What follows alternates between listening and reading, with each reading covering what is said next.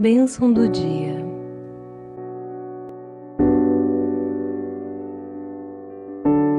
Levantarei os meus olhos para os montes, de onde vem o meu socorro? O meu socorro vem do Senhor, que fez o céu e a terra. Não podemos olhar em várias direções, e sim fixar nossos olhos constantemente no Altíssimo, para que Ele seja o nosso amparo, além de nossa referência de valores espirituais e morais. Nunca é tarde para recomeçar. Olhe sempre para frente e para o alto. Bom dia!